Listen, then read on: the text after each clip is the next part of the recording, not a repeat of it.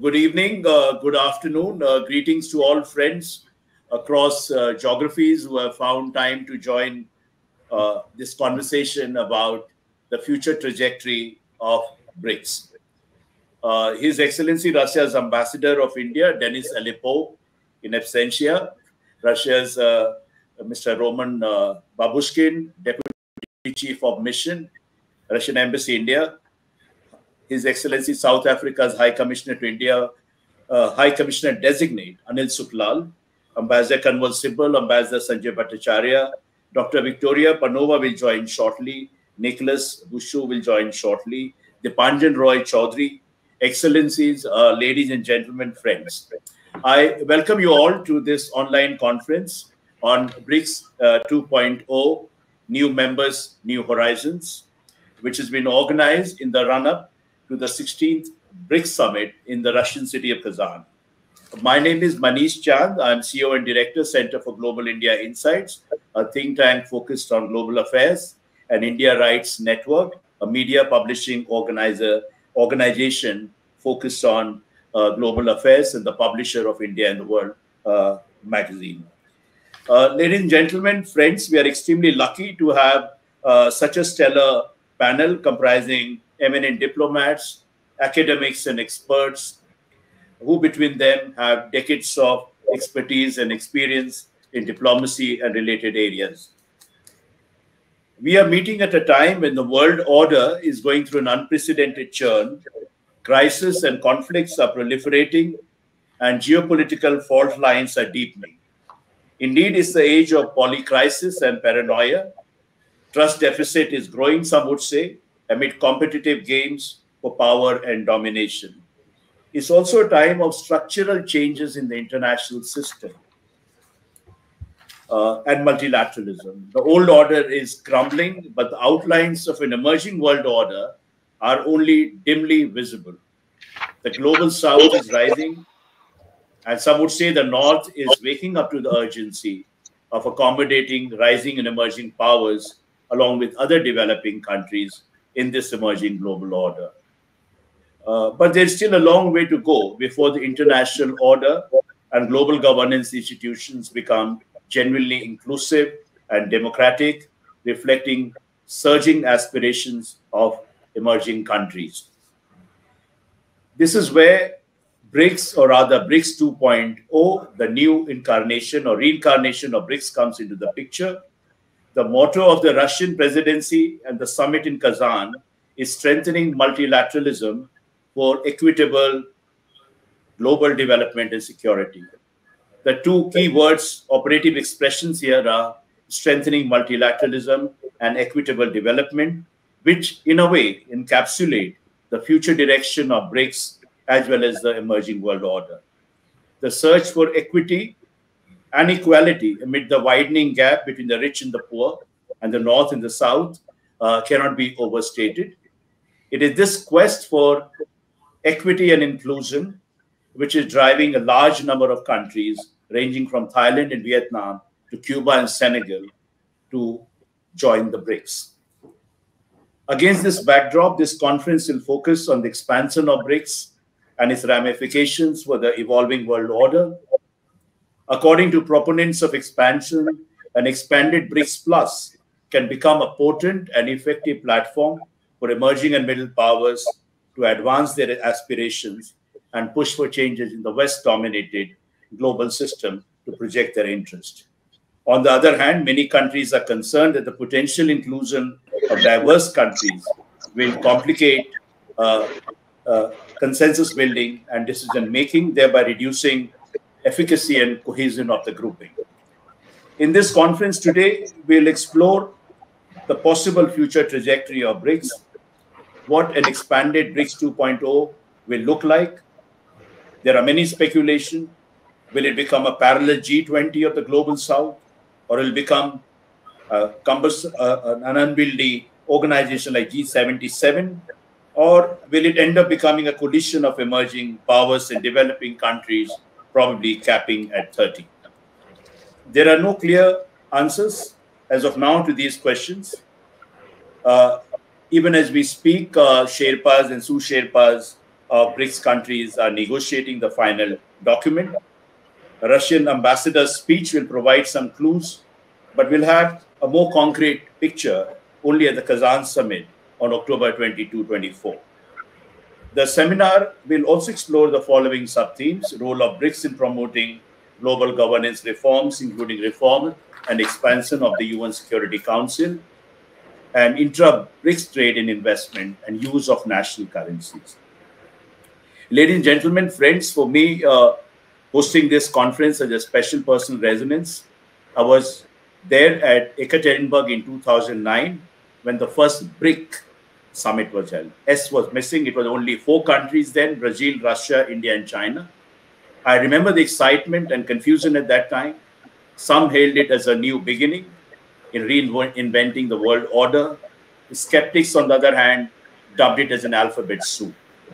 Next year, in 2010, South Africa was added, making the grouping BRICS.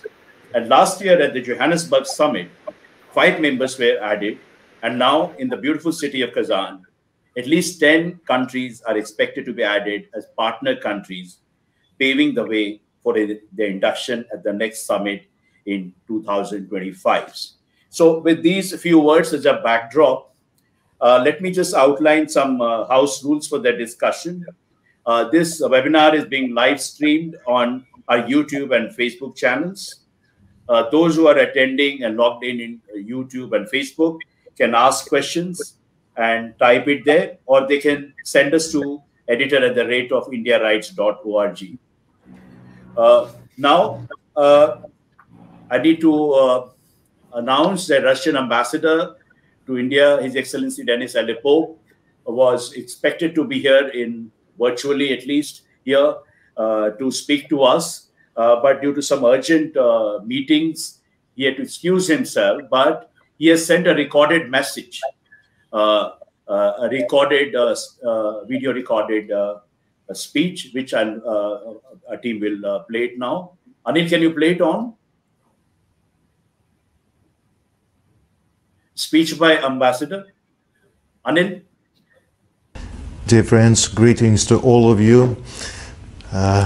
my words of appreciation to Sri Manish Chand, Chief Executive Officer and Director of the Center for Global India Insights for um, having us today and uh, for uh, organizing the today's platform and for giving the opportunity to, to exchange the views on, on the BRICS on the threshold of the 16th annual summit that will take place shortly in Russia, in Kazan, uh, starting October 22nd we, uh, we look forward to welcoming Honorable, Honorable Prime Minister of India, Sri Narendra Modi ji, and uh, around 40 other heads of states and prominent leaders to participate in regular and outreach BRICS Plus sessions. The motto of the Russian presidency uh, and the um, uh, forthcoming summit is the strength strengthening multilateralism for equitable global development and security. I would like to particularly welcome uh, the new South African High Commissioner to India, Dr. Anil Suklal, who has by virtue been the longest serving BRICS Sherpa and whose expertise in BRICS is undisputed. BRICS is a multi-dimensional phenomenon. It has become an influential platform for developing uh, for de developing and emerging economies to take forward a rich agenda and to promote democratization of the global governance reflective of our growing influence. It offers a diversified, inclusive and consensus-based cooperation within more than 80 sectoral tracks structured into the three baskets policy and security, economy and finance, and humanitarian and cultural ties. BRICS respects civilizational diversity and offers the, uh, the, the um, platform to a mutually beneficial dialogue free from pressure, free from double standards or interference in domestic affairs. No wonder that a large number of countries uh, has expressed interest in joining, and we see, we see it natural for the BRICS to expand in one way or another. After our membership has doubled last year, which is itself a landmark, we move towards the establishment of a partner country category to enable interested states to join our practical cooperation. We think we must satisfy their ex expectations that would consolidate BRICS uh, and its potential as a dedicated mechanism to promote the agenda of the global south. I would not prejudge who exactly uh, is going to be invited uh, as a partner country and what are the criteria, but certainly those states should be economically ambitious and should oppose illegitimate sanctions against member states. I presume we are all against the phantom itching for dictate and restricting cooperation with other nations. The case in point is that geopolitical and practical relevance of the BRICS is growing, not only despite uh, uncertainties, but because of them, reflecting the demand for a more equitable cooperation in a multipolar environment.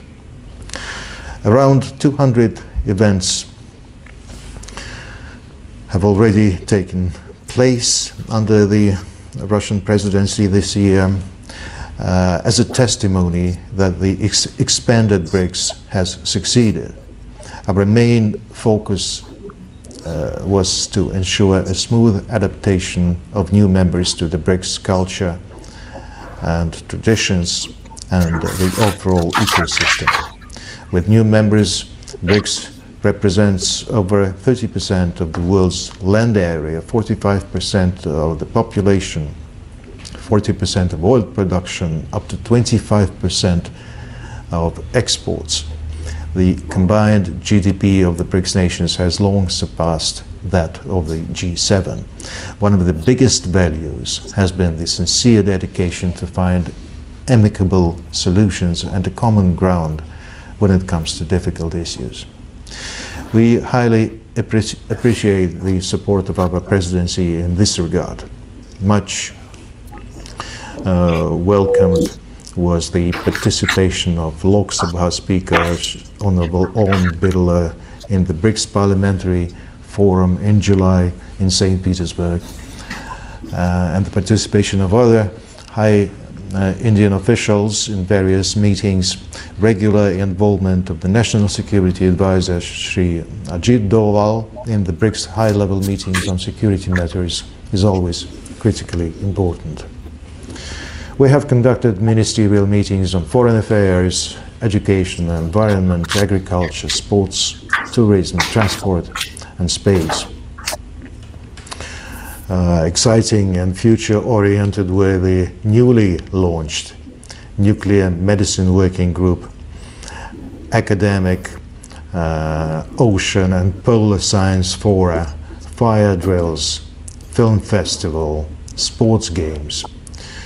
We have held meetings on uh, counterterrorism, intellectual property and standard, standardiz standardization industry, customs, climate change, policy planning, nanotechnologies, SME support, energy transition tracks, youth summit, uh, as well as women, digital business and fashion fora, and the cultural festival, and many other.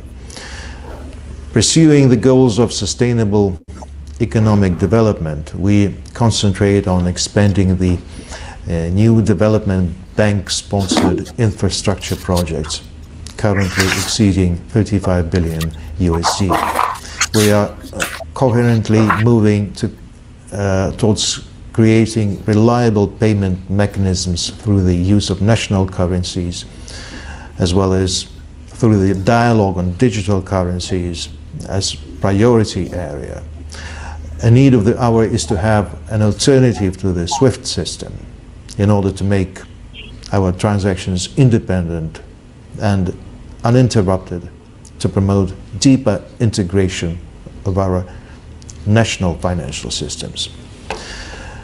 As like-minded countries, we closely coordinate on various international issues, primarily on the G20 agenda to ensure that the developing, na developing nations are getting an equal access to technological, financial, uh, and natural, natural resources in order to remove development gaps and achieve sustainable development goals.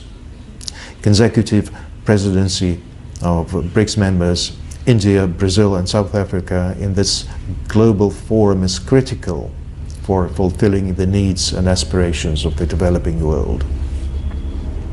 As was reiterated by President Putin, the main task of the Russian chairmanship in BRICS is to create favorable conditions for all participants to efficiently use our economic investment and, technological uh, and human resources potential for the best of interests of our nations and at the same time to strengthen a constructive contribution of the BRICS to make the world more secure and harmonious. Thank you very much.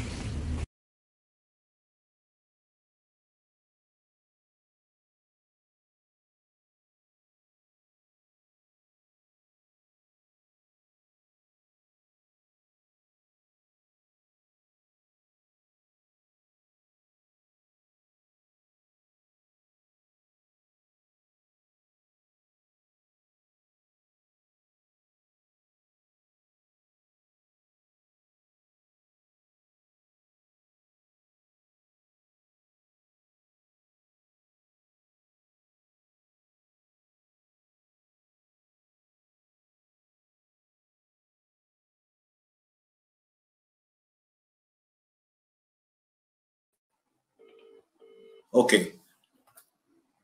Hello, can you hear me now? Can you hear me now? Yes. Uh, we can. Yes. Uh, thank you uh, so much uh, for that overarching uh, big picture view. And, uh, you know, your ambassador has set the stage and Deputy Chief of Mission Roman Babushkin will be there later to take any questions connected to Russian presidency.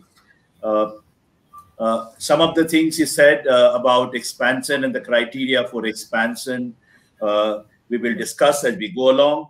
Now, my pleasure and honor to invite South Africa's High Commissioner designate, Professor Anil Suklal.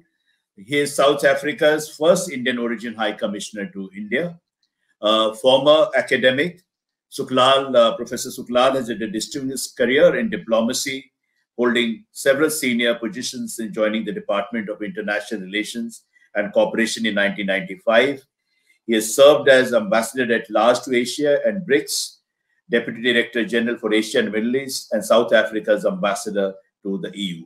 For the purpose of today's uh, discussion, as the Ambassador emphasized in his speech, he is probably one of the longest serving, uh, was one of the longest serving Sherpas so he knows the process, he knows it from inside, he's an insider, he brings a wealth of expertise to this discussion. Uh, with uh, these words, I invite uh, uh His Excellency Anil Suklal to address uh, uh, two questions in his initial remarks. Number first, what challenges do you see? You know, we, I mean, we don't know how the expansion is going to unfold, but with 10 more members being added, what challenges do you see uh, uh, in integrating these new members into the existing uh, BRICS framework? And do you think it will dilute the cohesiveness of the grouping? That's number one. And uh, the second is the South Africa has been a very strong advocate for, you know, an inclusive BRICS uh, and also for promoting African resurgence and renaissance uh, through BRICS. Uh, uh, I, uh, what is your response to that? You have around eight to 10 minutes to address this question. Over to you, His Excellency. Thank you, Manish, uh, first of all, for convening this uh, very appropriate discussion.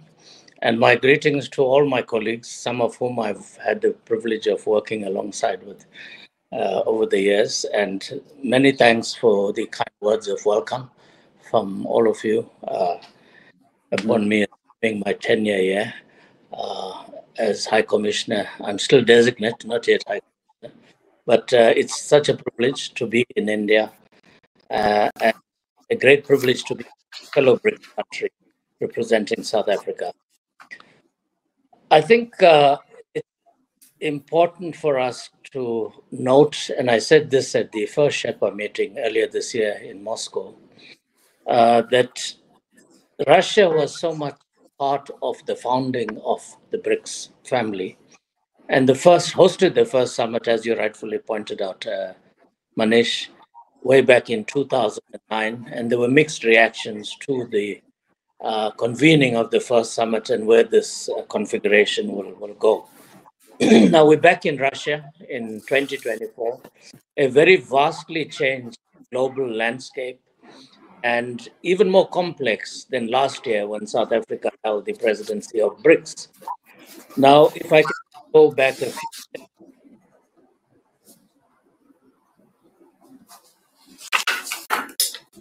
What the hell is happening here? What is happening?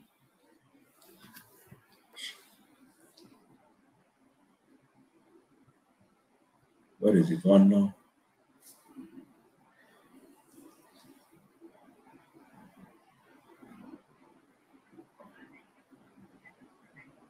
अच्छा अच्छा okay एक minute रुक जाइए Okay, he should be here shortly. I think there's some a bit of technical snag at his end, some internet issue.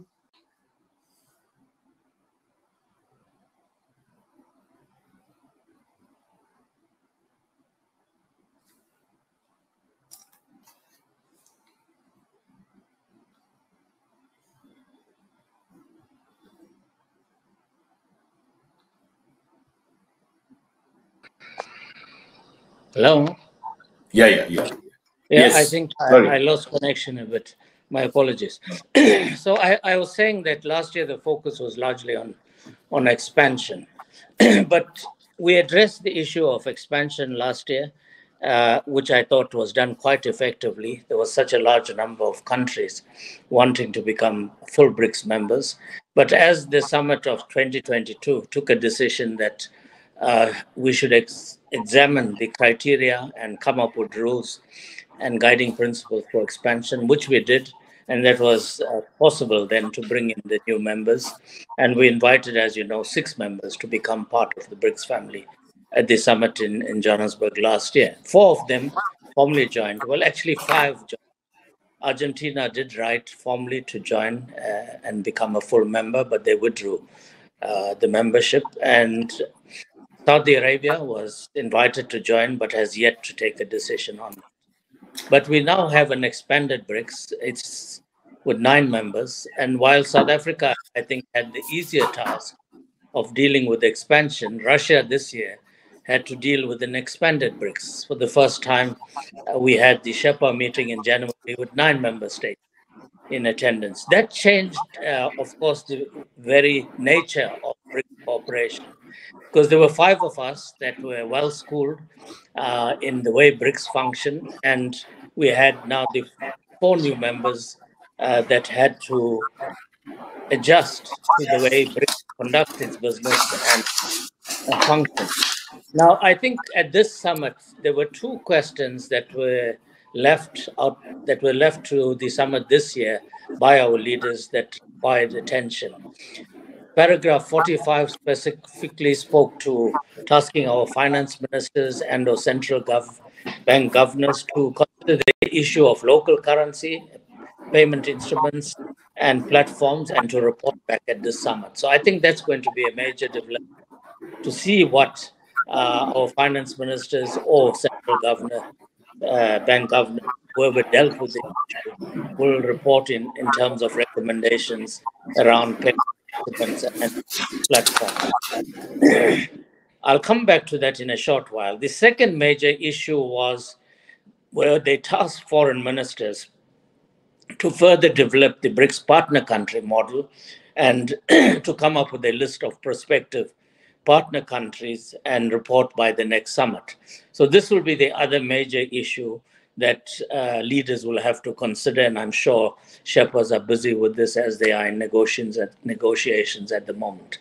Now, the question you raised about challenges with an expanded BRICS, I think I've alluded to the fact that the five of us have been functioning over the past 15 summits, and we have developed a protocol in terms of how we conduct ourselves.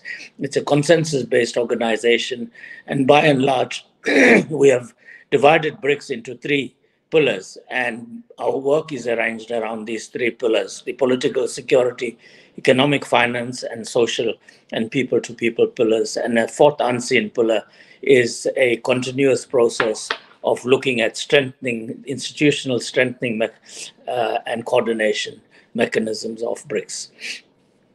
Now, if you have to look at the current environment, we didn't have the complexity of the Gaza situation last year when we chaired uh, BRICS. And I think that under the political and security uh, pillar will receive uh, attention by our leaders. I'm sure when our NSA uh, representatives met and they will provide a report as is mandatory at BRICS Summit, in terms of their discussion in the closed meeting to the leaders. I'm sure they're going to comment on all the major uh, geopolitical issues, both regionally and internationally, as well as the security challenges as it impacts on all of us and the recommendations that will come out of that. Now, one of the challenges that already emerged, as is traditional on the margins of uh, UNGA, the BRICS foreign ministers traditionally meet, and we have an outcome document, uh, a media statement, as we call it. Now, for the first time, for the first time, we were not able to issue a media statement following the foreign ministers meeting in New York because they could not reach consensus. And this again demonstrate that as we expand, the issue of consensus become even more difficult because of a more divergent viewpoints on, on critical global issues that impacts on us, impacts on our national security, and it becomes difficult to, to compromise on some of these. Now, of course, I'm sure that we will have a summit outcome document. Uh, that is the tradition in, in BRICS and we always were able, no matter how far apart we may have been on issues, we were always able to reach consensus. And I'm confident under Russia's able leadership and under President Putin's able leadership, we'll have a very good, uh, substantive uh, summit declaration. I have no, no doubt about that. Now, whether BRICS is being diluted as it expands, it depends what you mean by dilution uh, inter- I actually think BRICS is not being diluted. BRICS is being strengthened because there was careful consideration in terms of the new members that we brought in as full members, the four full members. Now, this year, we are not bringing in full members. We are bringing in partner countries. For the first time, we're creating, if one may want to call it that, a two-tier uh, BRICS because you're going to have full members, the nine members, and then you're going to have partner countries. But the modalities that needed to be finalized in terms of uh, what would be the criteria in selecting the partner countries, and more importantly, what role will partner countries play? Will they be fully integrated in all the work streams? We have about 20 ministerial work streams and an innumerable number of expert groups uh, meetings. Uh, where do we bring them in? I think all of this is something that Sherpas were busy with. Whether that's going to will be finalized and adopted by the leaders, we'll have to wait and see uh, at the summit. But I think it's important, in my view, the expansion of BRICS is actually a plus factor. It demonstrates that there is a great deal of uh, there is a great need in the global community for leadership, and that's, that leadership is seen within BRICS. And that is why you have such a large number of countries, diverse countries. And increasingly, you're seeing a few countries from the global north starting to knock the door of BRICS. And I think that's significant.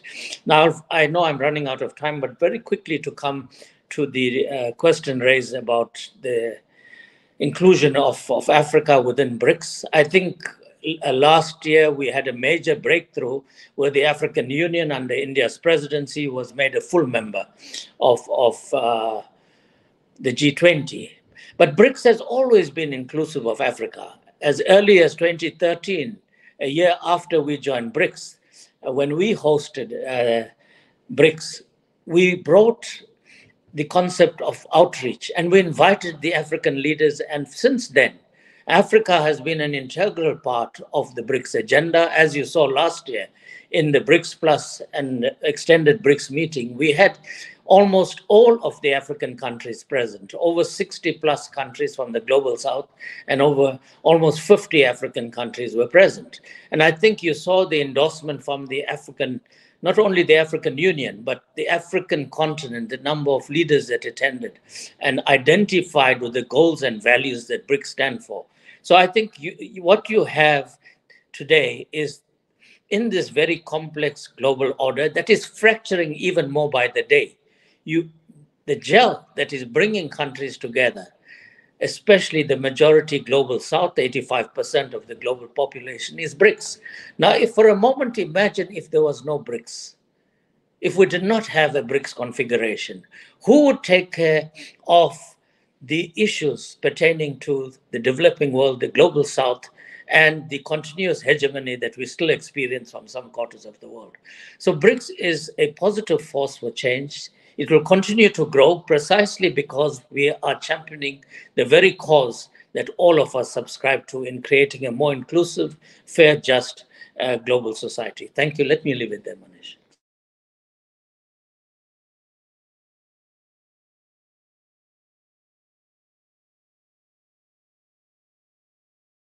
And, your optimism about the future of BRICS uh, and the expansion of BRICS. The expansion of BRICS is a plus factor that BRICS will continue to be a positive force for change, and BRICS 2.0 uh, will remain a dynamic force in international affairs. Uh, with uh, now, let me move on to Ambassador uh, Sibal. He uh, really needs no introduction. Uh, he was he is Chancellor, currently Chancellor of Jawaharlal Nehru University he served as India's Foreign Secretary from July 2002 to November 2003. Uh, throughout his career, he held important ambassadorial positions. He served as ambassador to Turkey, Egypt, France, and Russia. And uh, beyond his diplomatic career, he has uh, excelled in literature, philosophies. He earned titles like Grand Doctor of Philosophy and Full Professor.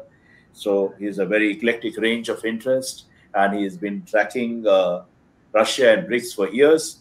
Uh, so, Ambassador Sibal, uh, my two questions to you are number one, that what is an expanded BRICS, BRICS Plus or BRICS 2.0 uh, mean for India's interest? How will India navigate uh, this expanded BRICS?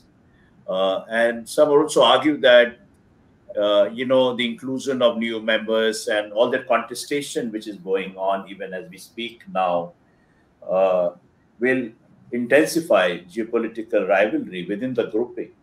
Some say that China will get to set the agenda through new members. Uh, what is your take on this cluster of interrelated questions? Well, um, I think the expansion of BRICS inherently is a positive thing uh, because we, we are increasing the space uh, for the global south uh, to participate uh, in uh, discussions on multilateralism, but that is the theme of this, this, summit in a few days, because we all know that multilateralism, which was always in trouble, has virtually collapsed. We have currently two very serious conflicts that are going on, in, one in Ukraine, the other in West Asia or the Middle East. Um, and both have the potential uh, of exploding into something much bigger. In the case of Ukraine, now the nuclear dimension has become relevant. Uh, and in the case of West Asia, a wider regional power, uh, war uh, can uh, be visualized if uh, there is no restraint uh, put on uh, uh, the principal player in the current scenario, which is Israel and which is defying the United Nations and proceeding on its own agenda of uh, uh, making sure that its, its, security is fully taken care of without thought to what the security challenges it may face in the future. Because these things can never be decided definitively. Now, in the case of India, uh, as I said, BRICS is the expansion is a positive thing uh, because we've always uh, spoken for greater role of the developing countries in global governance. And this has been uh, denied uh, uh, to us, to the global south in general, though some concessions uh, have had to be made because power has shifted progressively uh, from the west to the east for economic power. Uh, and in its wake, political influence, and of course, the military aspect also has become different and the kind of uh, military power that it is uh, uh, acquiring. so, therefore, as I was mentioned at the G20, we were in favor of including the African Union in the G20. Again, with the idea that uh, the agenda of the G20 uh, should not be that of the priorities and interests of the G7 countries, but reflect the wider interests uh, of the developing organization. Similarly, in the case of uh, BRICS, the expanded BRICS, uh, we would focus on the needs and issues that are priorities for the countries. That is quite clear. Um, now, some of the uh, things that we are attempting to do quite rightly, we should also realize that uh, going ahead will not be that easy. Uh, because the entire system currently is weighted very heavily in favor of the West, which has dominated uh, the global system. Today we have uh, West is in effectively in war with uh, with Russia and uh, considers China as its principal adversary and then serious tensions in the Western Pacific. In other words, the factions in the world uh, have become deeper and more uh, dangerous. Uh, now, India is uh, in a somewhat uncomfortable position because, unlike Russia and China, whose relations with the West, especially the United States, have either collapsed or are in, uh, in a adversarial mode. Our relations with the West, including the United States, are actually expanding because that meets uh, our needs for the future. That doesn't mean that this will be at the cost of our relations, either or the global south. But nevertheless, uh, we have to navigate in a manner that while we promote a mutually beneficial agenda, it should not take the form of an anti-West agenda. But that will then fracture the world even more and uh, will be a blow to multilateralism. The whole idea of multilateralism is to convince in the West that they should reconcile themselves to the shifts in power and have more consultations and give more concessions to the important priorities of, uh, of the rest of the world. But against the West, then we will be in a more difficult situation uh. Uh, because the tendency then to BRICS, in BRICS would be to join hands together, take positions uh, which would invariably then acting will be uh, So our view of BRICS would be that we have a very positive agenda. We must push on that agenda. There are certain issues with regard to the governance of the rest of the global financial system, its use of sanctions, uh, the role of the dollar, the hegemony of the dollar, uh, the weaponization of, uh, of the financial system by the uh, United States. Uh, all these are very serious issues which affect our own interests going into the future. But we have to have a realistic basis on how to progress on these matters.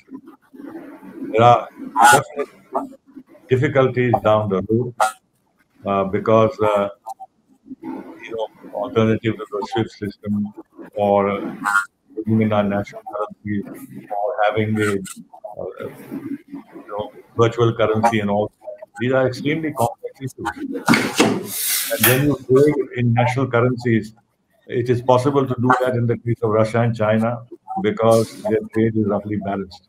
What China exports to Russia, Russia exports to uh, China, and therefore they can deal with these uh, with these uh, transactions uh, in the national currency. But when there is an imbalance, where one country is exporting a lot but importing very little, as in the case of Russia, the, surpluses have got stuck uh, in India because of the sanctions problem, and we can't utilize the, the systems of payment that existed in the past, continue our trade, and we have to get around. The other, of course, is that uh, even though you may trade in national but there has to be a, a uh, reference point because the value of the currencies of our own currency uh, in relation to the dollar keeps changing. The dollar invariably comes in as a reference point, which is why President Putin has talked about the gold becoming uh, the reference point or commodities becoming the reference point. These might be positive ideas going ahead, but I don't think they get realized uh, so quickly. And then again, and finally, I would say that, uh, to my mind, uh, the weakness uh, is uh, the India-China problem. Our relations uh, are now very difficult and difficult to foresee how we can develop them, how we can resolve the problems that uh. And since uh, India, China, and Russia are the original original founders of what was RIC and then became BRIC and then became BRICS, and the whole exercise started on the basis that China and Russia will work together. India Russia will work together. India and the rest of the BRICS countries, whether whether members or partners, will work together but India and China uh, find it very difficult to work together because of our geopolitical interests are clashing right apart from our bilateral issues. Uh, building a consensus on uh, on issues uh, the table of BRICS is therefore uh, not easy. Um, of course, we had BRICS summits and everything else, and India-China relations have been what they are. But if you are going to develop the agenda and deepen the agenda uh, more seriously and give it teeth, uh, then uh, I think uh, within BRICS, especially between uh, India and China, uh, have to become more stable. And finally, you know, we brought in uh, Iran and UAE and Egypt, of course, Ethiopia. now, what has happened is that uh, the regional problems of these countries uh, have become, will become or will become part of the BRICS agenda.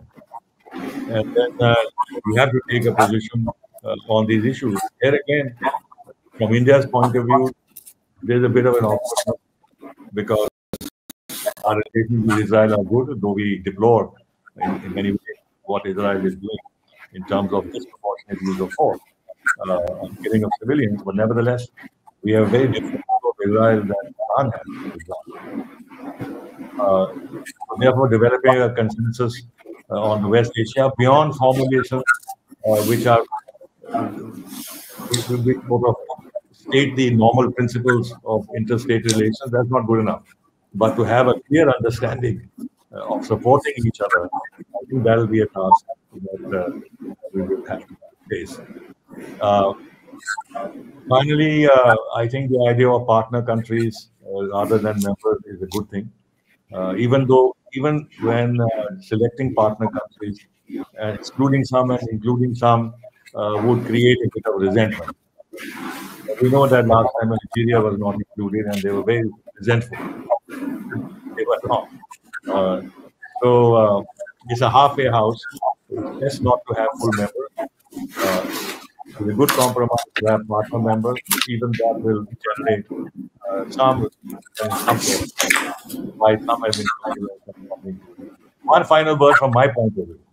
Uh, I'm not talking about the government of India's position. I don't represent India. I think we should be very clear on one thing, which is that uh, any country which is a member of another military organization should not be should not be joining BRICS, even as a partner. I have Turkey in mind. It's a NATO country, and if the whole idea of creating BRICS was to create a forum which was on block, then I think uh, a member part of a military doesn't make any sense. But I think uh, would have a lot of interest in bringing Turkey in because of the nature of the situation. I don't know whether uh, Turkey is in the list of 10 you mentioned partner countries. But this is my personal thought, but I. Uh, thank you, Ambassador Sibal, for that very acute uh, insight into some of the issues uh, animating the expansion, the challenges, and also your point about that. Uh, again, your optimism that the expanded uh, BRICS can be leveraged creatively by India uh, to increase space for global South and for accelerating reform of global governance, which was the original inspiration behind setting up BRICS. welcome, Nicholas. Welcome, Dr. Victoria Panova. We'll come to you.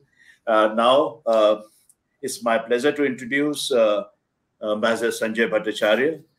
Uh, Sanjay served as secretary in the Ministry of External Affairs, where he managed key portfolios, including the Arab region, Israel, and diaspora affairs. But more pertinently for this discussion, uh, Sanjay Bhattacharya, Ambassador Bhattacharya served as India's BRICS SHERPA during India's BRICS presidency.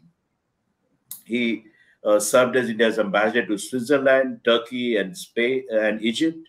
Of these uh, two countries, one is already a member of BRICS, Egypt, and Turkey, as Ambassador Sibal said, the opinion is divided. We don't know how it will play out. So my uh, two questions uh, uh, for you, uh, Ambassador Bhattacharya, is number one, that, you know, as many members new members of BRICS are from the Middle East, and probably there are going to be more, and Arab Africa as well. Does it mean greater focus of BRICS on crisis and conflicts in the Middle East? That's some sort of regionalization, you know, where uh, you have greater focus on one region more than the other. And uh, second, uh, briefly, you know, what opportunities does uh, BRICS expansion present for uh, India's economic diplomacy. You know, trade and investment, promoting use of national currencies, uh, uh, you know, payment mechanism which is being worked out. Some of these economic issues, which is like the real hardware of the the emerging BRICS. Uh, over to you, Ambassador Bhattacharya. Sound, sound. Can't hear. Anil? Anil, can you speak? Yeah. Yeah, yeah. Can, am I, yeah. yeah, yeah. Now, now you're audible. Yes, yes. Uh, Manish, thank you very much for inviting me to this very timely um, seminar uh, on the BRICS. Uh, as we move towards the summit in a few days, then ministers already making arrangements for being in Kazan for what's going to be a very, very exciting uh, BRICS moment. Um, best wishes to uh, to Russia, who always managed to steer uh, the BRICS movement very, very competently. And I heard very carefully about uh, the comments that Ambassador Alipov made. I'm also particularly delighted to see uh, my old friend uh, Anil Sooklal uh, on this forum. Great to see you here. And Uh, Foreign Secretary uh, Ambassador Sibal, uh, thanks for your comments. Manish, the kind of issues that you brought up, let me take up the first one, the second one first. You know, BRICS was born in the 21st century as a grouping of emerging economies. Its key priority at the very early days was really to bring about the economic development and the linkages with the North uh, or the OECD and others uh, that did not exist. So that was, in a sense, leading to the global global governance issues. And I think, in many ways, the BRICS movement was so successful, uh, although this was very less publicized, that it attracted the attention of many in the region. And after all, this was quite natural because the original BRICS members were not only middle powers, but the leading countries in their regions. And so what they did and what they could do was not only for themselves, but for the regions around them. And in this sense, I think from the very outset, they represented the regions. And this became more evident as the the NDB, the BRICS Bank, so to say, uh, began the process of expansion where many of the regional countries were brought in.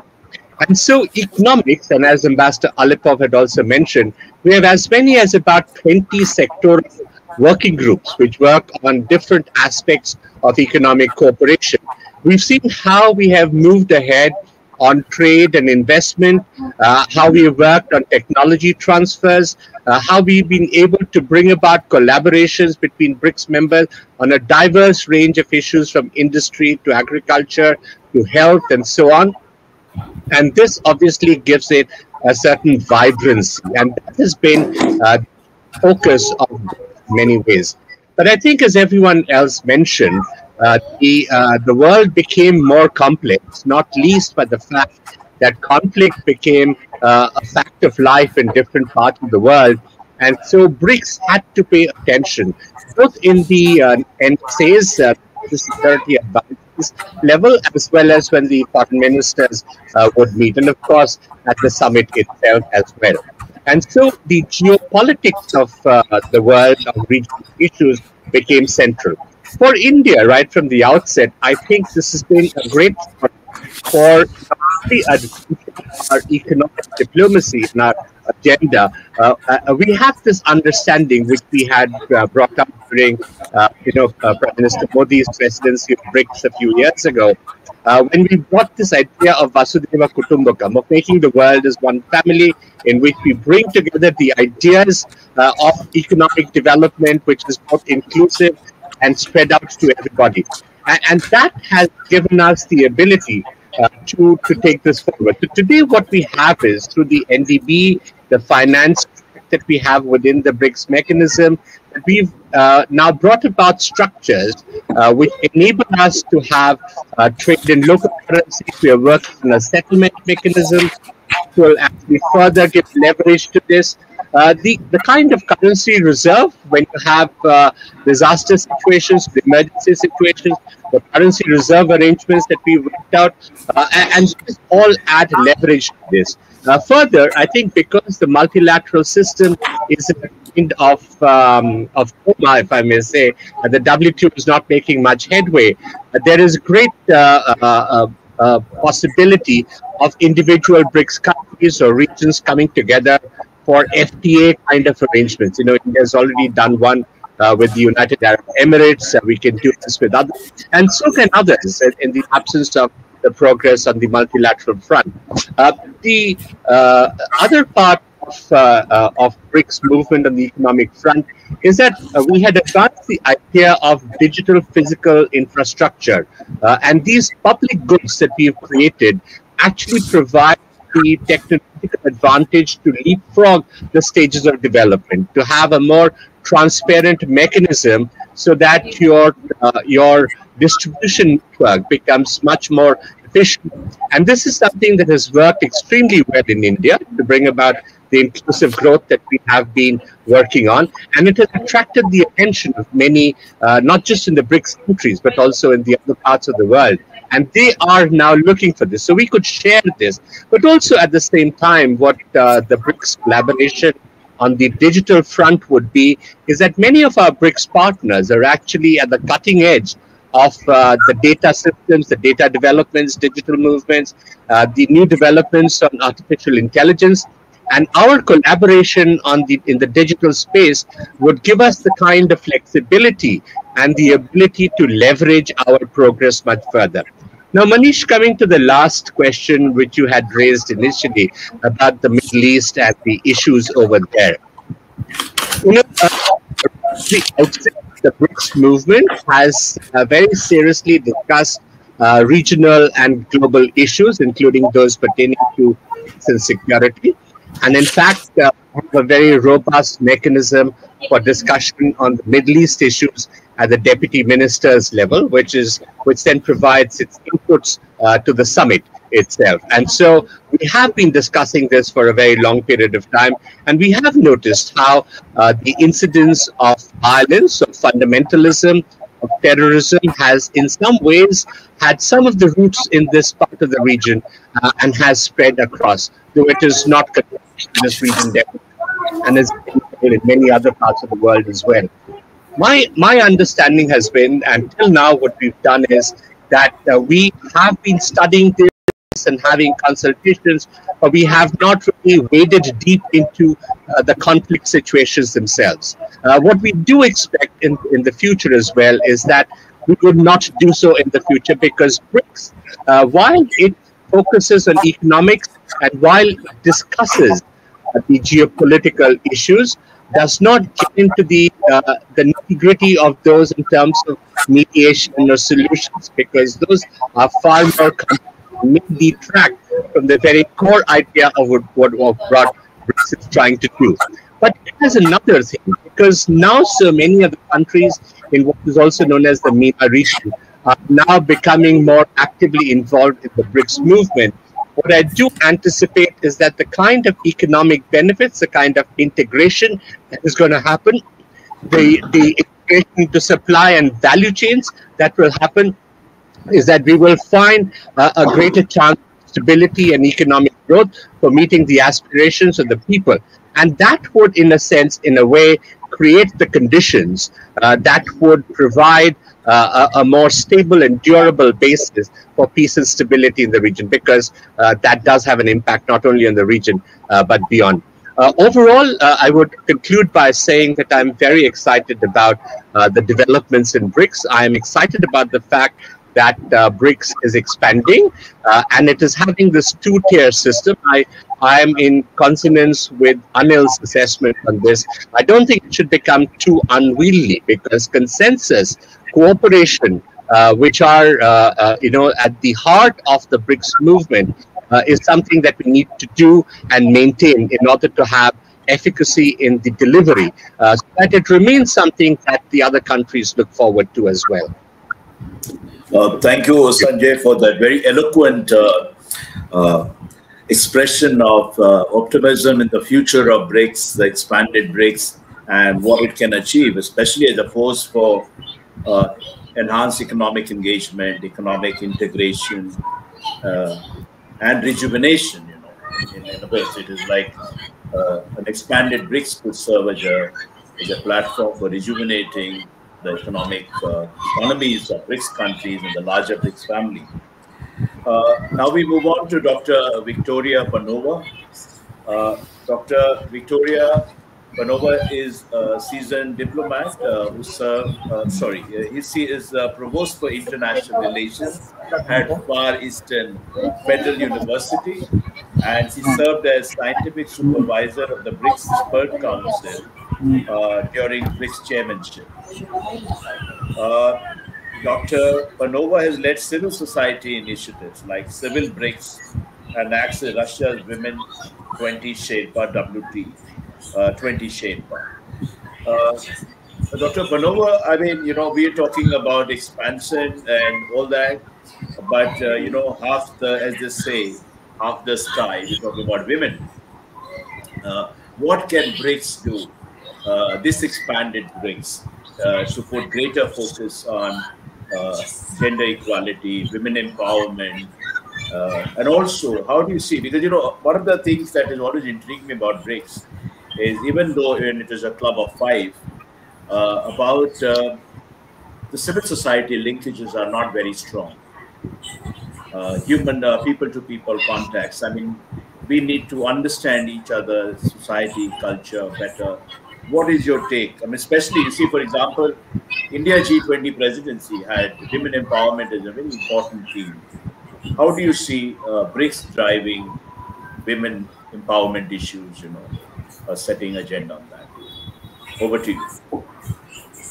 Uh, thank you, uh, Chair, and uh, thank you for inviting me here. Uh, that's really great to see uh, my colleagues and old friends, uh, Your Excellency, Dr. Alipov, Professor Nelson Clow, Your Excellency, um, gentlemen, really good to be here. And um, in fact, a small correction before I start. Um, in fact, you are talking about my position four years ago. Okay. I'm now there, uh, like similar position, but in Moscow, HSE University. And uh, yes, I remain uh, Women 20 Sherpa for Russia. And also, um, there, mm, there is a newly uh, recreated expert council, which was created by the order of Prime Minister of Russia uh, this year on a permanent basis. Because before I was heading um, the council that was just for a year of presidency, but it turned out to be a good experience in that uh, it is very, uh, it is necessary to have, uh, you know, team of people who are dedicated to uh, first of all, developing track two diplomacy, but also providing uh, yes. and timely and valuable expertise for uh, you know our governments and to provide for those uh, connectivity. Um, so, um, with the questions you asked, um, not that I enjoyed very Hello? much when uh, what you speak about women's issues. नहीं नहीं मेरा तो mic ही बंद है A lot more. मैं कभी भी on नहीं होता ये इनका ऑन है Sorry. Sure. Um, and uh, with BRICS, yes, Women 20 is a bit different. With BRICS, we have Women Business Alliance, and it's in a way like a part, or very uh, autonomous part of the BRICS Business Council. And um, frankly, I don't see extra necessity in order to um, single out those issues separately and to make like women BRICS or uh, create anything else. I can explain. Um, issues of women empowerment, they were part of the G20 main agenda for India. It's not something separate that women have to lead.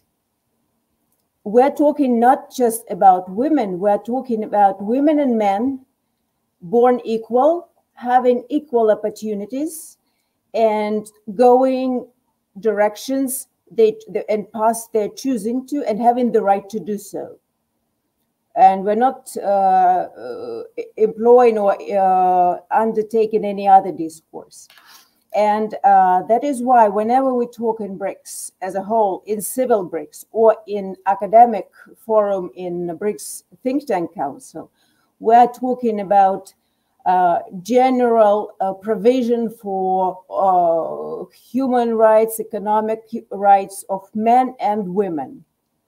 And this is important because um, we need to go for equality in opportunities and then ability at the same time to choose your own path, uh, to keep to your own traditions, your allegiance, and uh, not break your personality. So this is vital that we don't introduce universal model. And in fact, and I think many uh, speakers talked about it, because this is part of the core principle for BRICS. BRICS is not about following the Western model. It is not anti West in any way. No, it is non West. And it talks about its own needs, its own agendas and interests. And uh, that is why we can be talking about it in complexity, in, in a comprehensive manner, because we do respect each other's uh, differences, diversities. Uh, we respect uh, each other's approaches, cultures, civilizational uh, mind, mindset. This is all there. And it's key for us that we work together on the principle of mutual uh, understanding and mutual respect. And no universal model can be kind of pushed by anybody onto the BRICS members, be it the earlier five or the current expanded format. And uh, in fact, I think this is what uh, makes us much stronger because while being different, we're not working, let's say, unlike G7. I don't like those comparisons, but I mean, it comes to mind because we don't work on a hierarchical model. Our leaders, and on each every uh, layer of negotiation of each track, it's a kind of a discussion of equals who come to consensus. It could be a difficult path. Uh, some issues could be put aside because our and and it was already discussed here because our interests are not identical be it in economic area or be it, let's say, uh, in, in uh, regional uh, security, etc. But what is important that the core principles, both in economic development, in equal and sustainable and fair development, we do share. And uh, this is how we work. So it's it's key for BRICS. That is why we can allow ourselves to uh, be discussing issues like this within official track, if needed. And of course, countries on a different path for providing for women's rights. We uh, we have the legacy of the Soviet Union, who was the pioneer in terms of uh, introducing uh, full equality uh, legally to men and women in fact, much, much earlier before any Western country with the voting rights or, you know, or right to work. Um, and this is important that we're just sharing best practices, but not dictating that this or that model should be undertaken. Uh, but what we could be doing as women, and in fact, we're doing it informally uh, since the inception of the Women 20 format, we do some informal consultations uh, within um, within their Women 20, because um, it is true that our partners from the other side, from the West, they are always very consolidated and they do follow one line. And so you need to have um, extra strength and you need friends in order to uh, to be able to mm, stick to your points. Sometimes it could be difficult. That's why we do uh, informal consultations like that. That's on women. Uh, with regards to civil society, uh, thank you for reminding that. Yes, it, uh, we did it. We started it in Russia, uh, like in 2015 at their two presidencies before, two chairships before. And um, that's another, by the way, distinct feature for BRICS. Uh, BRICS is extremely open to dialogue not only between countries, but also within countries. Um, because I've been looking at club formats uh, since the inception. Um, over 20 years, I have experience in research in that. And um, with their G7, at some point G8, it took um, 25, 30 years to acknowledge that civil society matters and that you have to talk to them. Because uh, at the beginning, it was kind of the meetings were all closed, just some short notice in newspapers. Uh, then civil society wanting to know more about what's happening behind the doors uh, started different movements, including anti-globalist movements. So there were problems.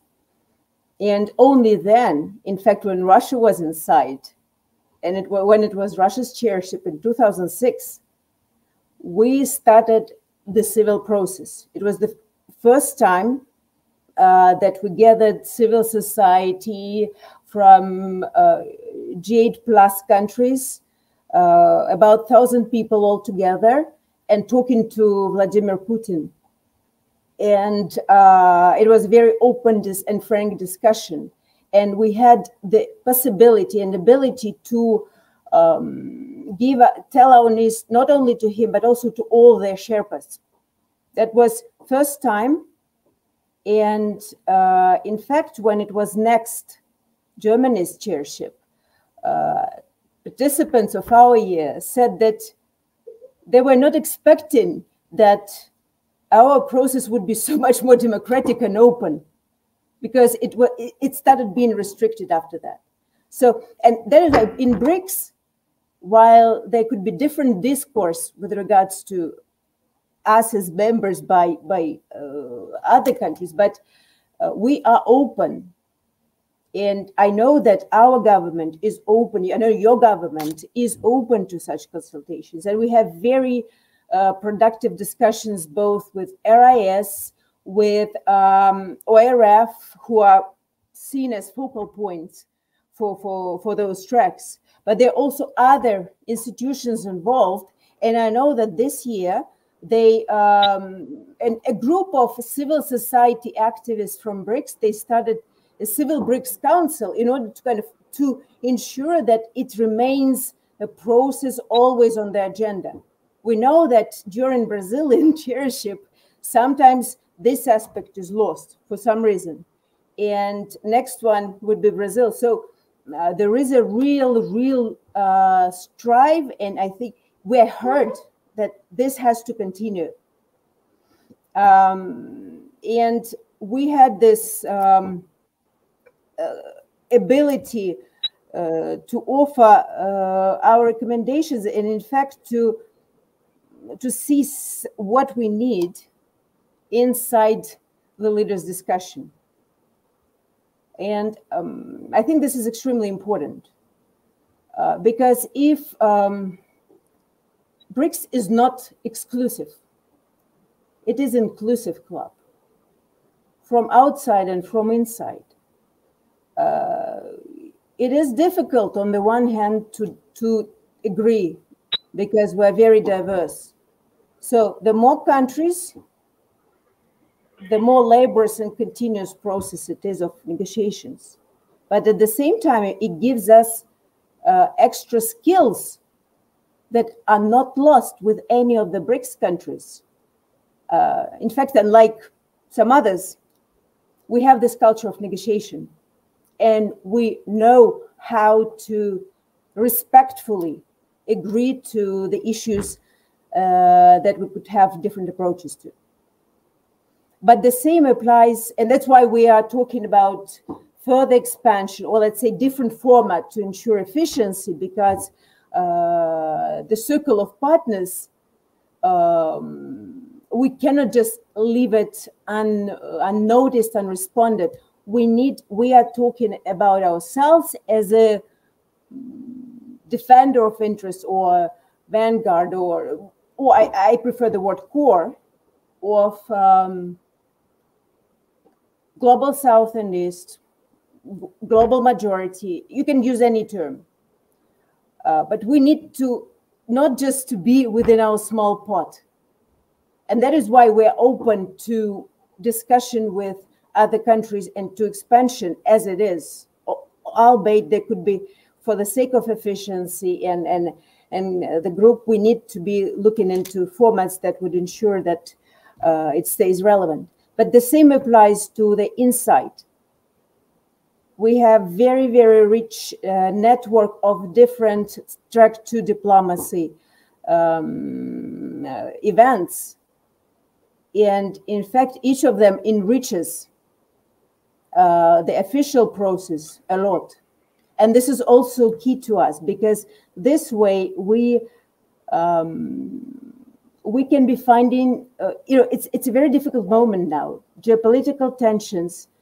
Uh, but I believe because of this specificity, because of, of this openness, uh, because of this design ability to listen, inside, outside, BRICS is the only institution or mechanism, because it's not an organization, that could be offering an alternative of the new, fairer world that is so much weighted and aspired for by uh, the, the developing countries.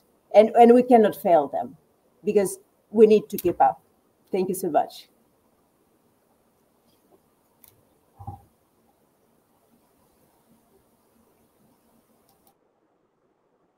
You're muted.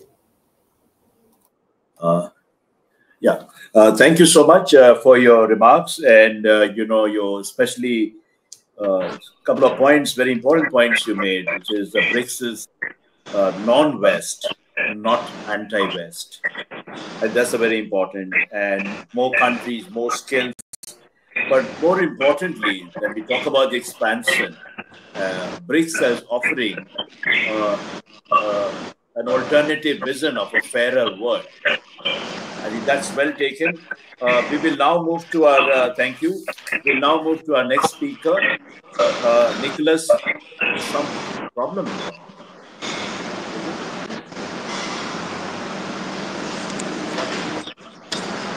Hello. Yeah, so we now move to our next speaker, uh, Nicholas uh, Buchoud. He is uh, co-founder and president of the Grand Paris Alliance of Metropolitan Development, a think tank focused on sustainable urban planning. He is also a fellow of Global Solutions Initiative. He coaches T20 Task Force on Urban Infrastructure Infrastructure Investment. Uh, so, uh, you know, with his background, you know, this is also an important part of BRICS, you know, and this was a very prominent part of the agenda, at least in the earlier years. Uh, what can uh, BRICS do to promote sustainable infrastructure, infrastructure development.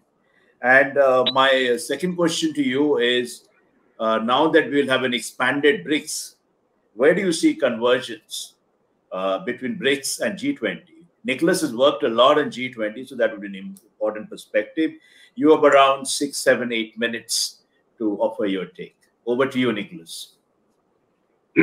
Manish, thank you very much. I hope the sound is okay. Yeah, yeah, it's okay. Yeah. Yeah. Okay. Thank you very much. Um, I will try to be even shorter because uh, uh, we have been listening to such uh, fantastic and great insights uh, from high-level speakers, and then I feel very humbled. Um, but the uh, you forgot to mention that I have also been appointed as a senior fellow at RIS in Delhi, right? Yeah. So yeah, yes, I feel also I feel also Ah, part yes. somehow You- of the BRICS. You wear many hats, you know. Yes, very much. think, think tanks, think tanks family. Um, I Yeah. have just a few, a very few remarks. The first one, um, also listening to our previous colleague, I think the issue of culture and cultural exchange and cultural interchange across the BRICS and across the new countries that might be new members or new partners uh, across the BRICS is something that uh, should sh- should not be undervalued. On the contrary, it is an extremely important resource. And uh, we were together just a few days ago in Tashkent, in Central Asia, for the first for the fourth World Conference on uh, Creative Economy, and uh, there were uh, nearly all the BRICS and future BRICS partner countries uh, represented, and we could feel how productive it is to be able to discuss about uh, such issues uh, in an open context. So that's the first remark. The second remark about your very question about uh, infrastructure systems and investments into infrastructure. Indeed, I have been uh, uh, um, uh, lucky to be co-chairing the T20 task force on those issues in the G20 over the past seven years, and including this year in Brazil, which is included in the climate issues. Here, um, I think um, there is a, a, before and an after of the COVID-19 uh, crisis.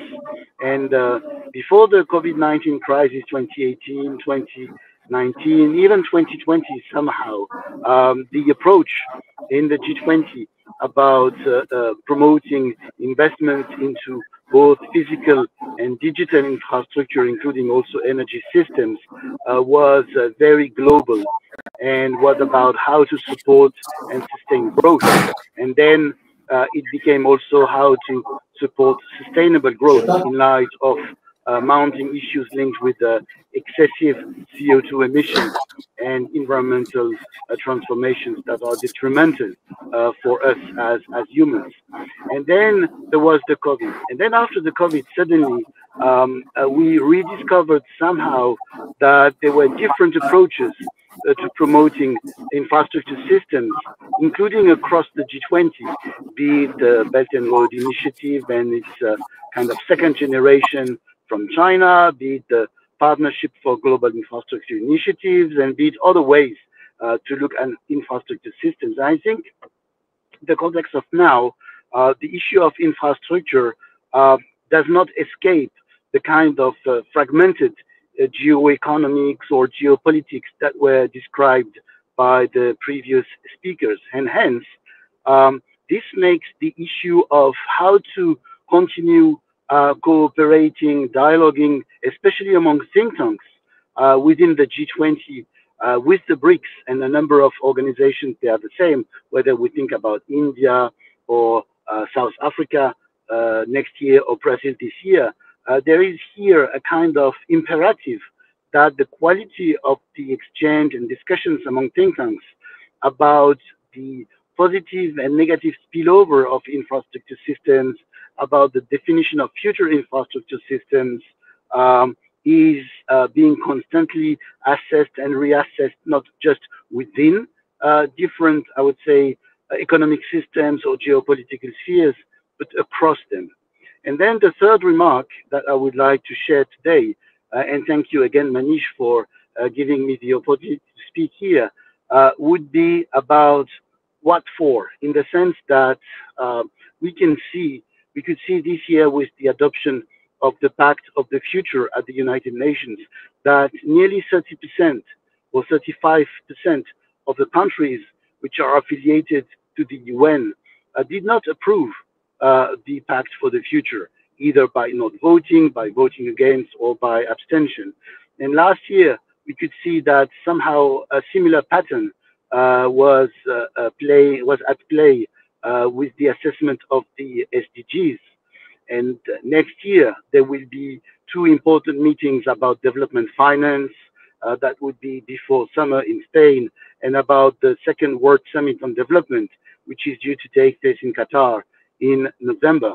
So the thinking is how together across the different, I would say, politi political or policy spaces uh, which are emerging or which are being affirmed, uh, we can continue uh, to discuss, not to forget about a couple of uh, global goals that do not belong to any specific region of the world, but which are a kind of common goods or public goods uh, for all of humanity. And here, I think uh, issues of infrastructure systems as expressions of, of, of course, of global trade issues, uh, supply chain issues, but also production and consumption systems could be part of this uh, global approach or uh, a multilateral or across different geoeconomic spheres approach uh, to thinking about where we will be in 2030 uh, with the uh, 2030 agenda and how to build the next steps of the aftermath of 2030. And I have great hopes that within the extraordinary momentum uh, within the BRICS, uh, very strong uh, new ideas might come up, right? Not just looking into the mirror and saying we need to apply the same uh, recipes that have prevailed in the past 30 years, especially after the end of the Cold War, but looking at new reservoirs of sources of investments, culturally sensitive investments, but also investments that would make sense uh, in the context that has been described by the previous speakers. And uh, because you kindly underlined also the uh, small experience I've gathered over the years uh, working, especially in India or in China or in the Russian Federation and elsewhere about urban transformations and urban issues. Of course, that should be part of the equation. And this might be right now uh, the opportunity to overcome a little bit the rationale of global urbanization as uh, we have known it in the past few years or in the past 30 years and craft something different. So this would be, uh, dear Manish, my few remarks.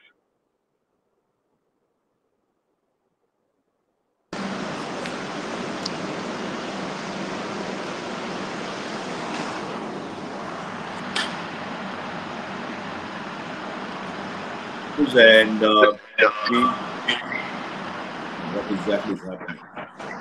Uh, okay, now we move on to the we move on to the last speaker, Dipanjan Roy Chaudhury. Uh, last but not the least, is diplomatic editor at the Economic Times. He's been covering foreign affairs, international relations for many, many years. And uh, he has covered many multilateral summits, including BRICS. Uh, previously, he was program director at Aspen India Institute, worked we Made Today, News Agency, and many other organizations.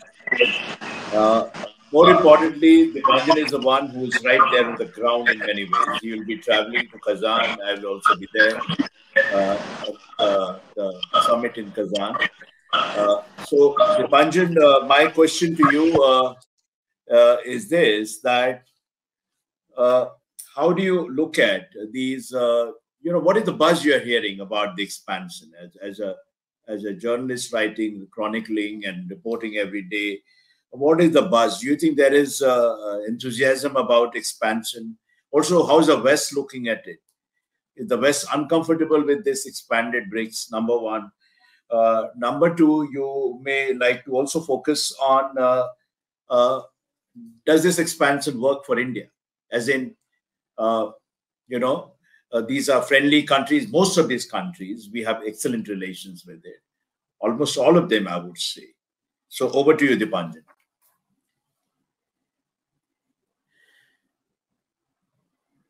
Are you there? Can you? Hello. Hello. Well. Dipanjan, are you there? Yeah, I'm there, very much there. Yeah, yeah, he's coming. Yeah.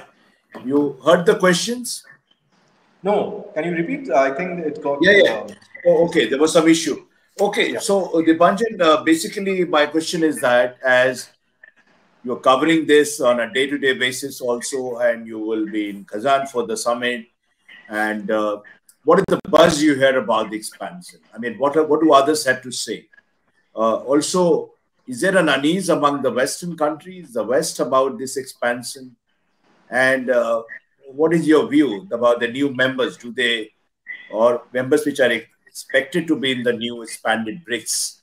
Does it work for India? I mean, they are friendly countries mostly, but what is your take overall? Yeah, um, I guess the buzz about BRICS um, in Indian media is uh, very limited, uh, in my opinions. Uh, you know, generally it only revolves around uh, the summit whenever the summit happens, and um, uh, uh, because it's not in India, so the buzz is is, is limited. Like the buzz about G20 is limited because it's being held in a faraway uh, country uh, in Brazil. So the buzz about this is limited. Also, uh, I feel that um, uh, many uh, journalists or columnists have not, of late, focused on BRICS um, in the last, um, say, five years in the in the post-COVID period. While there has been a move to make BRICS a more cohesive organization, and uh, the the uh, unfortunately the the uh, percentage of space uh, devoted in media to BRICS has reduced in India. Um, I mean, there could be a multiplicity of reasons uh, uh, because of India's unease with one of the member, one of the one of the founding members. you know, there are there are bilateral irritants or differences in one of the relationships. So it, it, it may have overshadowed. Uh, but nonetheless, um, I think um, uh, there is a lot of curiosity about the BRICS partner mechanism, as we would call it. And uh, this would, in, uh, in my understanding, this would be essentially a partner mechanism uh, for the time being, and which will also be discussed in the next summit it, it may not uh, translate immediately into membership uh, and um, it might take few years may not take few years depend on, on the dynamics. But definitely i have noticed uh, over the last uh, one year uh, a lot of interest in in, uh, in brics from various countries particularly in southeast asia. From where i think there is a maximum push to become brics partner this includes thailand vietnam Malaysia. Uh, Indonesia is also uh, present in, in, in, the, in the BRICS outreach. Uh, I think the new Indonesian foreign minister is, is traveling, which shows the interest because Indonesian new Indonesian president will only be sworn in on Sunday. And his uh, foreign minister is the floor aide, of the president. I'll be traveling within two days uh, to Kazan, which is not very close to, geographically not very close to, uh, not very close to, to to uh, to uh, Indonesia. so I, I, think that there is a growing interest. Yeah. There's a growing interest in in, um, in, in Africa and Latin America. You know, and one interesting I found is is is Morocco. I mean, you know, uh, because Algeria is interested, maybe Morocco is also showing interest to be part of um, uh, part of, or at least take part in this deliberation, because Algeria is a is an old partner of, of Soviet Union and Russia. Um, Algeria, India, Algeria also relations are good. India Morocco relations have also improved uh, over the years. Uh, so Morocco has shown some interest, at least in my opinion, in, in uh, is interesting. Um, so and, and uh, from an Indian viewpoint, I think the, this is a uh, platform uh, which takes forward India's agenda for Global South. Uh, you know, we have had three Voice of the Global South, uh, uh, Global South summit, and this this takes forward um, the the the BRICS would provide, and, and this would become a platform for the Global South because you know the major criteria for BRICS is emerging economies. And I believe it's not just emerging economies, it's also the middle powers. Indonesia, uh, Kazakhstan, uh, you know, Turkey, Algeria, uh, Morocco, Nigeria, um, uh, Colombia. I mean, Colombia was interested uh, to come. I, am not too sure what is the status of Colombia as of now, uh, but whether they are invited or not. So there are a lot of middle powers, there are aspirational powers, who for some reasons, uh, you know, some of them became members of the UN only in the 90s. Some have been members in the UN for many, many years. Who, in uh, for for many many reasons, uh, have not got the voice in other um, other other uh, platforms, established platforms. That's A. And B, I, um, I went by saying that uh, referring to uh, Mr. Alipov's uh, uh, uh, speech and uh, and Mr. Sanjay Bhattacharya and and others and, and reference by by Dr. Victoria Panova is the attraction of the BRICS Bank.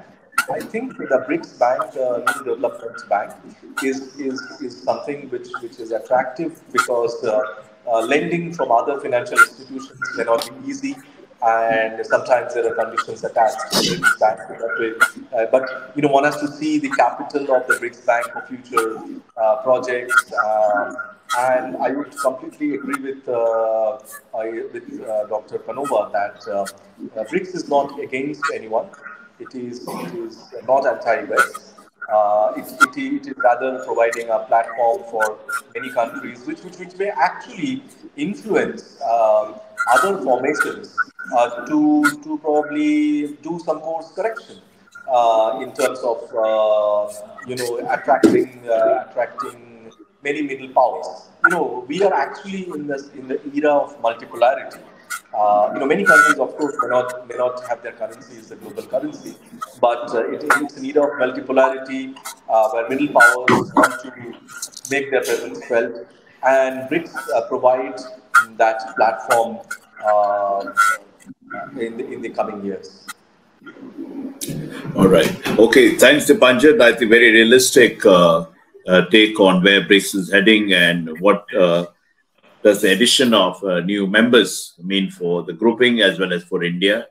Uh, so with this, we complete the, the, the round where speakers had uh, made their presentations, a remarkable presentation, very insightful. We have some questions now for the speakers. In the interest of time, we will take maybe three or four of them. Are all speakers here? Ambassador, uh, Mr. Babushkin, are you there? Very much. Hello. Oh, you're very much there. Okay. So there is a question for you uh, um, uh, from, uh, let me read out to you. One is uh, from uh, Elena, journalist from TASS, about can BRICS initiate a peace plan on Ukraine? And this question is also addressed to can BRICS, the summit in Kazan, or BRICS as such, can they come out with a peace plan on, on, on the Ukraine uh, crisis, conflict? And this question is also addressed to uh, Professor Anil Sooklal, that what role can uh, BRICS uh, uh, play uh, in as a peacemaker in conflicts, not just Ukraine, but Gaza? So these are the two questions for two. Over to you, Mr. Babushkin. Thank you very much, Manish and um, I'm really honored to be part of this um, uh, prominent uh, gathering and um, all of the speakers uh, were at some extent very close to us. Uh, either I was, you know, working in the as the Russia BRICS team at some point of time uh, with the uh, Honorable Dr. Sooklal as, you know, prominent um, BRICS chair for South Africa, or uh, His Excellency Mr. Sanjay Bhattacharya as BRICS Sherpa. And uh, uh, well, I'm really, it's really a privilege and it's a privilege to have Ambassador Sooklal here in Delhi as well. welcome here, Your Excellency. Uh, so looking forward to, uh, to closer interaction with you here as well. Um, so um, uh, BRICS, well, what is the big and you know very positive thing about BRICS is everything which has been mentioned uh, during today's uh, very interesting deliberations and forward-looking uh, visions of, of, how we see BRICS and how it works and what are the options are all of them are true because uh, we, we, don't have a, an, a, it's not a structured organization. So this is an intergovernmental forum which uh, provides a, platform for exchange of opinions and find a common ground on uh, what we are interested to do together. Uh, it's about um, um, a matter of a goodwill, and it's about a matter of uh, you know how we move towards uh, so many tracks of our uh, practical interaction, because it's not only about um, some um, you know, consensus on critical issues like the United Nations uh, Security Council expansion or something. So, uh, along with that, we have uh, uh more than 70 tracks of um, practical cooperation, which also moves on irrespective of on uh, uh, whether we agree on some things or not. So, um, but again, that makes BRICS even, you know, stronger. And I do agree with Dr. Victoria because that you know makes makes it you know, very uh, powerful and even uh, more efficient uh, structure than um, a formal organization because so well we do whatever we agree upon And if not, of course, we, we, we keep working on that so that to, to find a, a solution. It's a big value. That's a big value and the common uh, goodwill to achieve the uh, consensus. As far as um, uh, the global issues is concerned, of course, BRICS uh, as a global body, it deals with everything.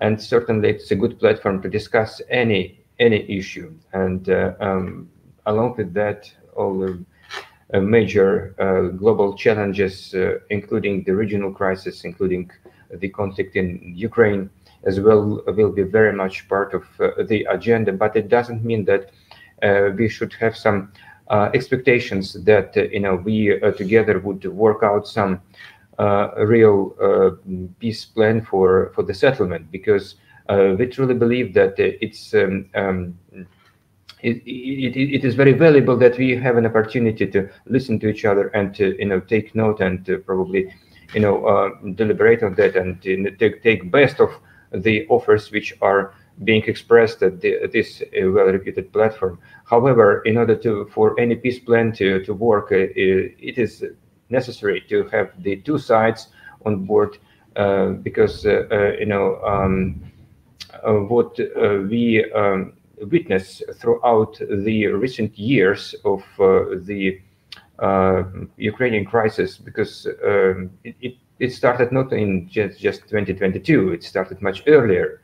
Uh, what we have started in 2022, it's a special military operation designed to to end this conflict.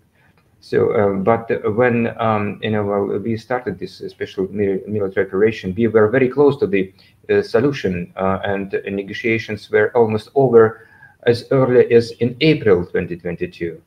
Um, uh, until uh, Boris Johnson came to to Kiev and uh, told the Ukrainians to stop talking to Russians.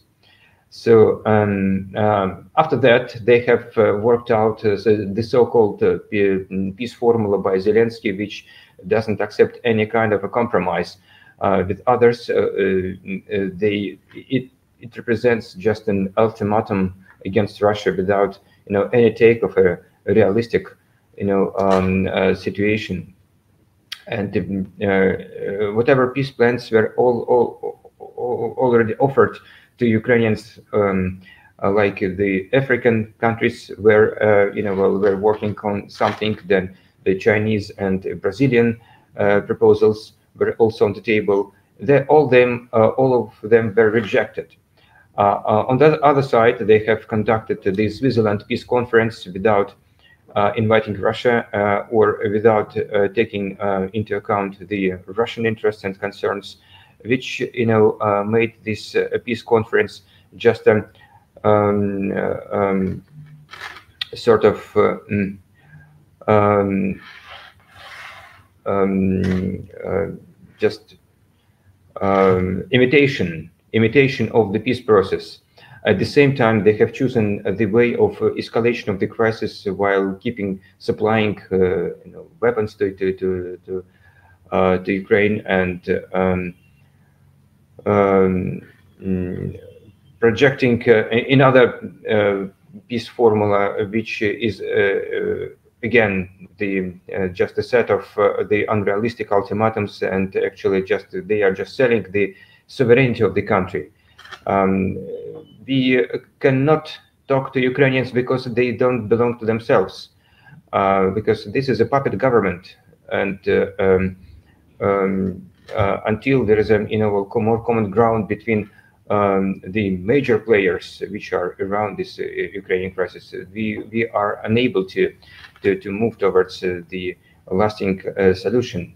So um, of course um, it, it is um, a big value and a big opportunity to listen to uh, other uh, leaders which are who are uh, who are present at the BRICS summit, either in the BRICS format or the BRICS Plus or outreach so that uh, uh, well, you could really uh, exchange the opinions. But the big value is that um, the um, the majority of, uh, those countries who will be present at the BRICS summit will speak almost in one voice, uh, uh, referring to the need of all of the participants of the conflict to be at the table and um, without mutual goodwill between them, there is not much point to produce any peace formula which will be rejected.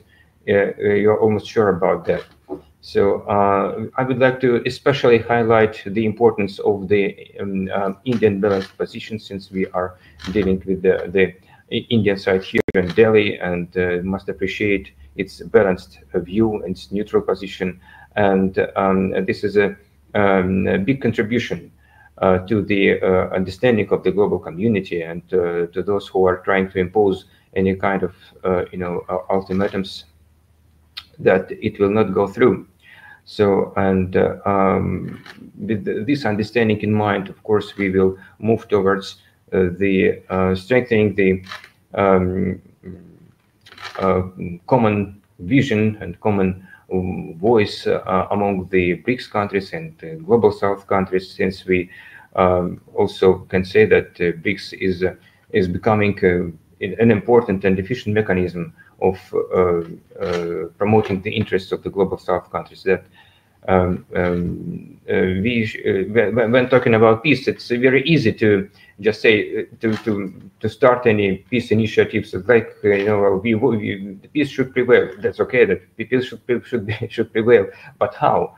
So that's the major point. So it's not as, as easy as it you know it looks so well. And uh, as we see, even those countries who are involved in this conflict um, directly from other side are uh, not uh, able to do so or not willing to do so.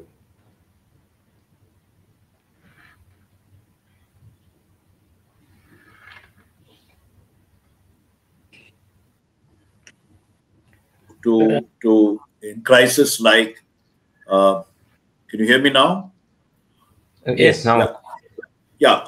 Can, uh, thank you, Mr. Babushkin, for your excellent realistic take on what role can the BRICS play. Uh, coming to Professor Sooklal, the same question, but with slight improvisation. What can uh, uh BRICS, expanded BRICS, do with its increased clout to in, in, in conflicts like Russia, Ukraine, or, or in Gaza? Very briefly, two, three minutes, please. I think uh, it's a very important point of note if you look at all BRICS, from the very first to the most recent in summit, and I'm sure this is the same. BRICS leaders never indulged in finger pointing and trying to portion blame to a country vis-a-vis global. You'll never see that in declarations. Unlike, unlike G7 declaration. And even this crept into the G20 declaration, where countries were fingered and blame apportioned in terms of what's happening on the global scene of the conflict. And I think that's a very important point to recognize that BRICS, if you look at BRICS Summit Declaration, it always speaks when addressing global peace and security issues. It speaks of peaceful resolution of these conflicts through negotiations without pointing fingers. And I think that's the basic principle that underlies cooperation BRICS amongst ourselves, but what we'd like to see in the larger community. Now, coming specifically to the situation in West Asia, none of the BRICS countries are both the Ukraine situation and Western Asia situation, suppliers of arms and, and finance to fuel. We are not fueling as the BRICS community. The, so it is BRICS that has to speak of finding a peaceful, sustainable uh, solution to the conflict in Gaza, to the situation in Ukraine. But our partners not are not interested in that and the double standards that we are constantly trying to address vis-a-vis the UN Charter, its purposes and principles, and the security that wantonly violate by some countries without any. The unjust sanctions, unilateral sanctions that, Im- that is imposed. This is not by any BRICS countries. And I these are challenges that have to be addressed. When one side of the global community is calling for peace, is calling for a resolution of the, while the other are not interested at all in bringing about a peaceful solution. Be it the, the situation is not about Russia and Ukraine. We all know this. It's and this situation in Gaza. It is, I think, it must be seen within the larger context of power contest. It must be seen within the larger context of a new global order and that is unfolding, that's being posed because a certain group of that dominate the global agenda, the global political and security situation, global economy, the global finance, they don't want to make new partners that are of global south. And I think all of these conflicts must be seen within this larger context of what is happening on the platform, and it cannot be inflation. And BRICS has a major force to push for respect of multilateral architecture, and reinforce multilateralism, system, and calling for a transformation on the of the Bretton Woods uh, institutions, the, the, very architecture, way the UN is designed, will be next year celebrating 80 years the founding of the UN. But the UN is still caught up in 45 when the world has changed so dramatically. This is criticism in taking the lead in a more inclusive global picture, financially, political. Thank you. Uh, Sanjay, there is a question for you about uh, just very briefly, one minute, two minutes, and we wind up. It's, we've been there for now almost 100 minutes, more than that. Uh, so essentially, this question from Karthikeya Garg, Center for Global India Insights. Uh, you know, the BRICS has also opened the possibility of development finance, enhanced development finance for uh, developing countries, you know, uh, where the Britain, Bretton Woods institutions failed them, you know. What is your view? I mean, is a new development bank catering to the needs of developing countries for the finance? Uh, infrastructure finance, project finance, uh, freed of conditionalities we have seen in the case of Bretton Woods institution. Two minutes, please.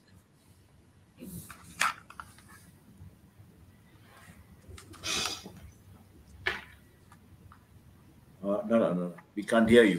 Anil, which is yeah, yeah, yeah. Can you hear me? Yeah, yeah, we can hear you. I see BRICS as an organization which promotes development, uh, which promotes equity, and in that particular effort, it moves towards global governance, which is more just and equitable. Uh, BRICS alone cannot change global governance, but if it can create the situations where the economic conditions of own citizens, and not only of its own citizens, but citizens of the neighboring regions, uh, who are also part of the global south, can be improved, that's a significant benefit that can actually transfer uh, to humanity. That the role of the NDB has been very, very central.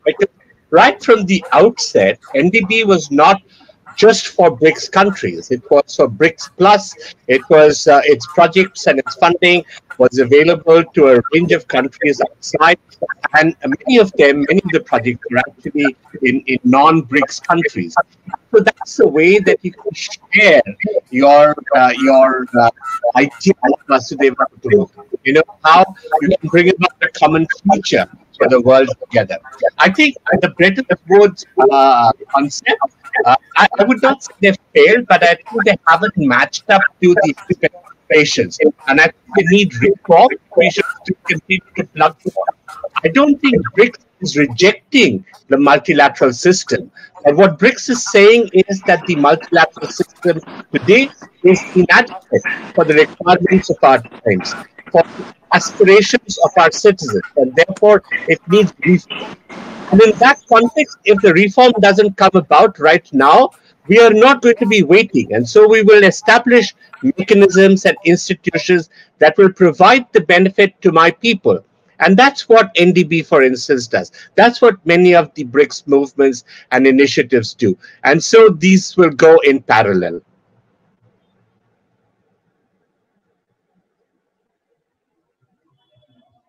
we have been at it for more than 100 minutes, and what an incredibly rich uh, discussion, multi layered discussion it has been. We could go on probably for another few hours, uh, but somewhere one has to stop.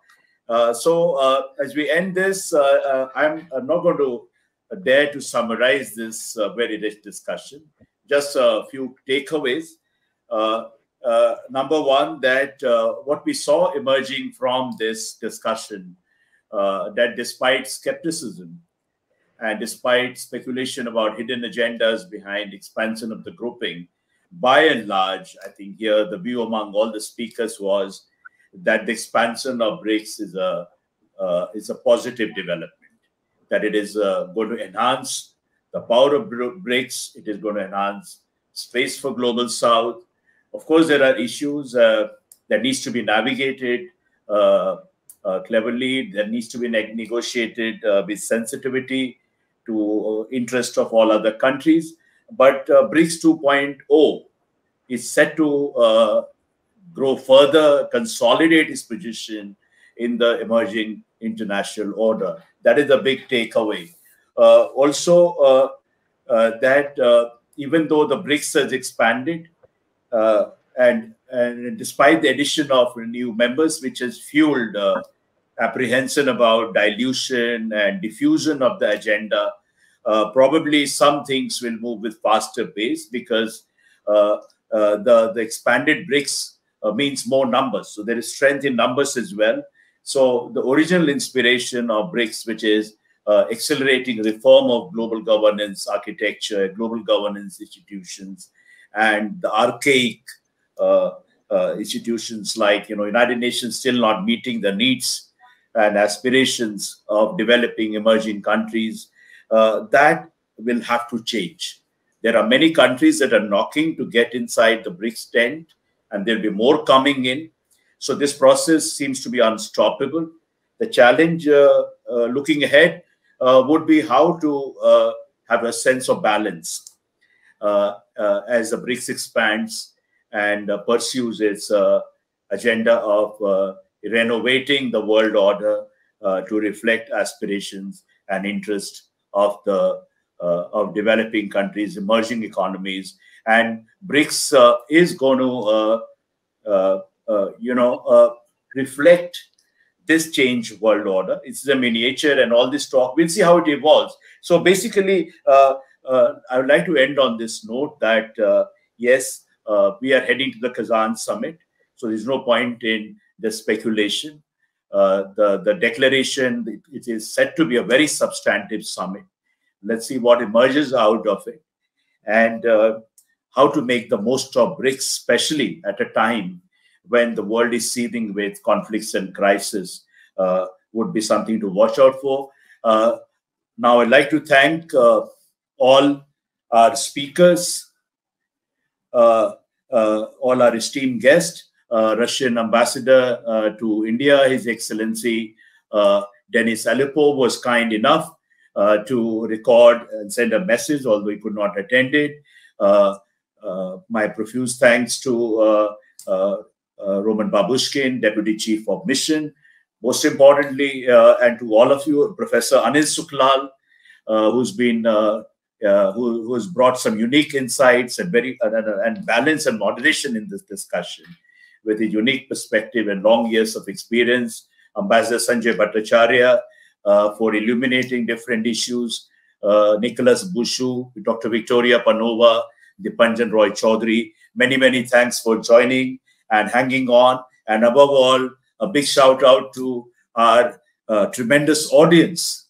Many of them who've hung on for those last uh, nearly two hours and followed the discussion.